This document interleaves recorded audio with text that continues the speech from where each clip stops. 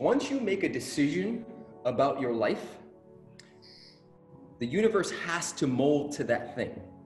And so, what some people do, because we've had this happen multiple times, where somebody will say, Well, I wasn't hunting. Well, yes, you were, because you made a decision about your life, which energetically says something. And so, the organicness of it happening at that moment is not random.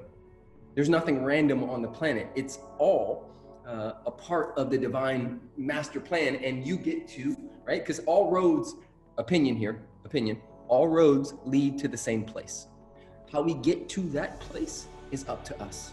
If we are in alignment, it happens in a particular way. When we're out of alignment, it happens in a different particular way. Coincidences happen, right? So I'll share a small win. Yesterday, um, I got the contract that I booked a $20,000 Zoom speech, right? This is random, but is it? Is it random? Of course it's not right? And this keeps happening because I'm not chasing dreams, I'm chasing alignment. When I'm in alignment, dreams chase me.